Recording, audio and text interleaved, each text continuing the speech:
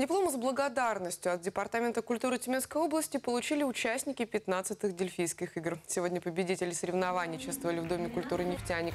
Поблагодарили не только конкурсантов, но и преподавателей, которые подготовили воспитанников к конкурсу. Напомню, тюменские таланты принесли в копилку области 41 медаль, впервые победив в командном зачете за 10 лет участия в играх.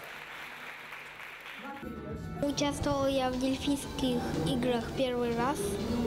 Эта атмосфера действительно наполняет вдохновлением. Здесь приятно побеждать и приятно вообще играть. Мне очень приятно вернуться в такую атмосферу после стольких дней.